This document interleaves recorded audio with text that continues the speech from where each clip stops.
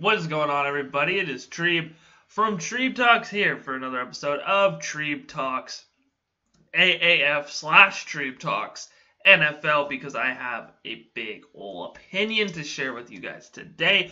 But before I get into that, do you like money? Because I like money, and you can win some money entering Treeb Talks AAF pick contest. All you have to do is enter either leaving your picks for number week t- for week number two in the comment section down below, or you can join the Treeb Talks AAF picks Facebook group. It'll be in the description down below as well as pinned up in the comment section. So don't miss your opportunity to win $100 via the Cash App, a $100 Amazon gift card, or a new pair of Apple AirPods. So, ladies and gentlemen, without further ado, let's hop right into the video. Hit that intro. One to go up top, dumps it off across the middle. Fournette.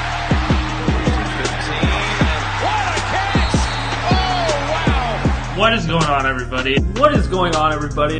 What is going on, everybody? It is Treeb from Treeb Talks here for another episode of Treeb Talks.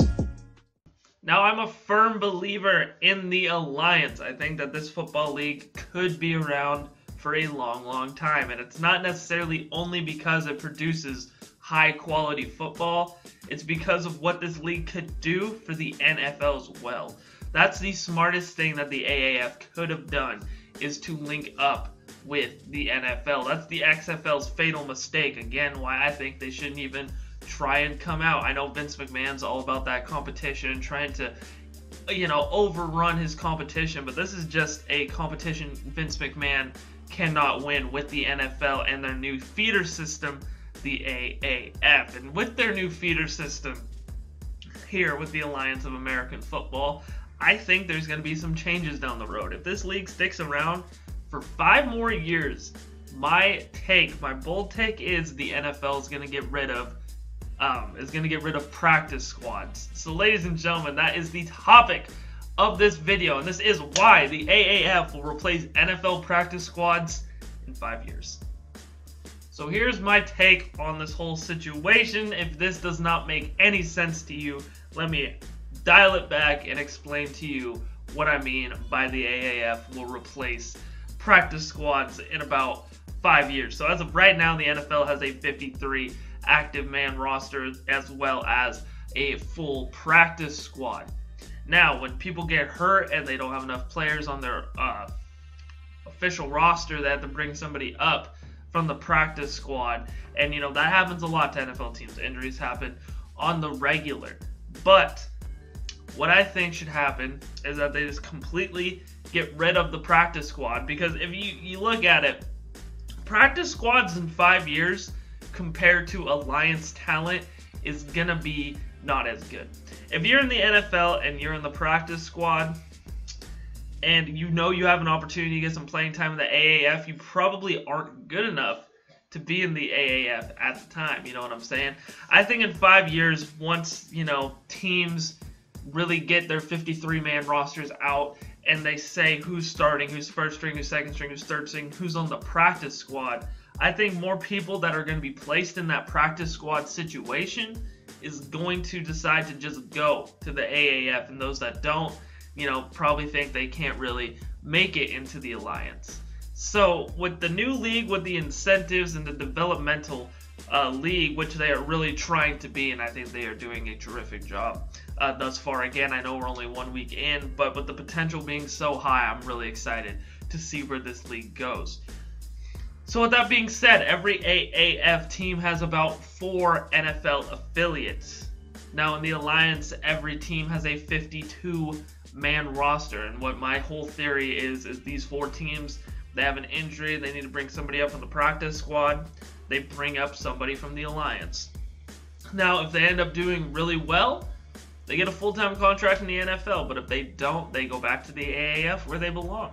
And that also kind of Im- Im- impeaches or breeds breeds is probably definitely not the right word.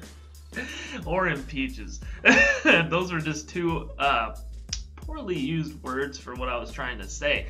Now i know that the aaf has those three year contracts but with those contracts i think they're going to be able to add an option to go up to the NFL. And you know the uh, the teams, I'm sure, kind of like the uh, the quarterback draft. I think they're going to be able to protect some players from uh, being able to do that. But you know they're only, they're only going to be able to protect a certain amount of players, maybe three, maybe four that they can't take. But the rest are fair game for NFL teams. And if you're in the AAF, that is a tremendous opportunity for you. You have a chance to go into the NFL from this developmental league that you obviously shined in because somebody's trying to bring you up. And then when you get your NFL opportunity, you shine, you show out, you do good. Hey, you just got yourself an NFL contract. You're making more money than you were in the AAF. It's a true developmental league. Congratulations, you have made it to the National Football League, man. Congratulations. But if not, you go back down to the AAF, you play another year with your guys, and you're back where you were, you know. If they want to make this alliance a true developmental league, I think that's what they should do. I think they should get rid of practice squads and really try and dive into replacing them with some alliance members. Now, I understand they can't completely get rid of practice squads because I mean, who are they going to practice up against, you know? Things like that. But, you know, the scout team, they could just be that. They could be the scout team. But, you know, I think more teams now that there are affiliates for each team, and if they can have the option to bring up a practice squad member or bring up a player from their AAF um, partnership, their affiliate with the, the AAF team, if they had the choice, I think that's also just tremendous, tremendous, you know, marketing for the league and has opportunities for those guys to really ball out, make more money, and do things like that. And you know, if they're affiliated, I guess necessarily they won't have to sign a contract, so their contract won't be, you know, voided or wronged or anything like that. But you know, if they perform well, maybe the NFL can offer them a contract. You know, on the contract side of things, I'm not 100% sure how they would make that work, but it just it sounds like such a great idea in my head that I wanted to make a YouTube video about it. So hopefully I don't get hate in the comment section down below. So basically, here's my gist. You're a team in the NFL. One of your guys go down.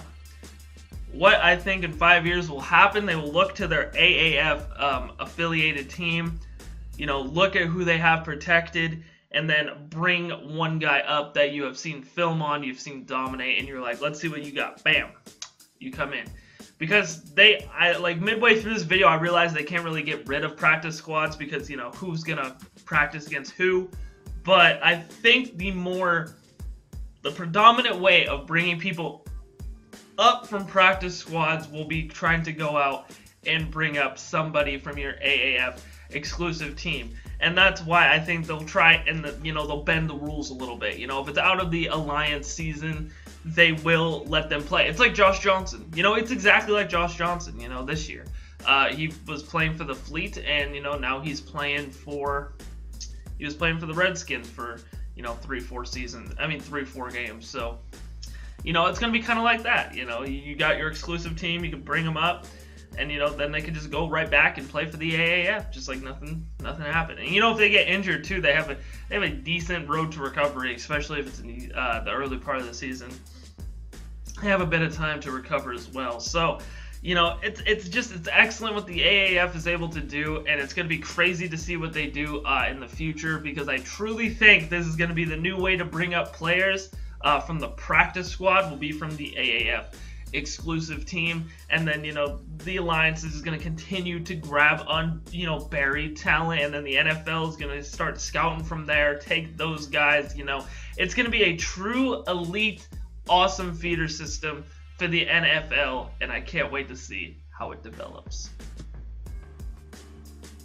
And that was why the AAF will replace NFL's practice squad. What do you guys think? Leave your comments down below. Don't forget, check the links down below as well. You can like me on Facebook at Treeb Talks. Follow me on Twitter at Treeb Talks or follow me on Instagram at Trayvon Pixley. Also, if you're feeling oh so generous, you can go ahead and donate on Patreon. That's patreon.com forward slash Treeb Talks. Also, if you haven't yet, click that subscribe button. You can be the 730th subscriber. And if you are the 730th subscriber, make sure you comment that you were the 730th subscriber. I will pin your comment.